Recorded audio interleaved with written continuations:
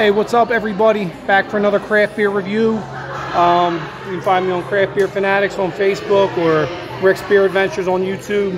Uh, check out Two Birds One Show podcast every Thursday night on uh, BGSC Network. Uh, today we're at Cape May Brewing.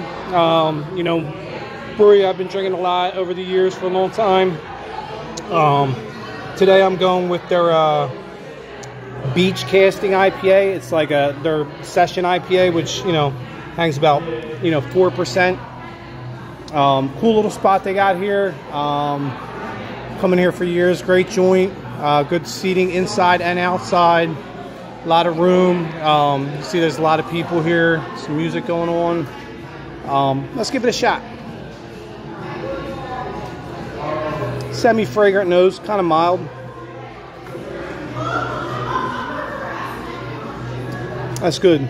Definitely characteristics of a of a session IPA. You know, mild taste, mild nose, um, a little bit thinner of a body. Um, definitely getting some uh, Citra hops in there, probably some Cascade I'm tasting. Um,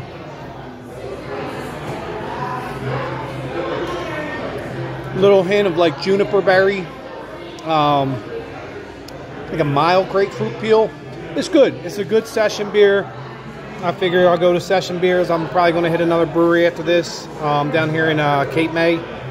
If you're ever down this area, a lot of good breweries down here. Fun area to hang out, good family or not if you're just riding solo. Um, always a cool spot to hang out.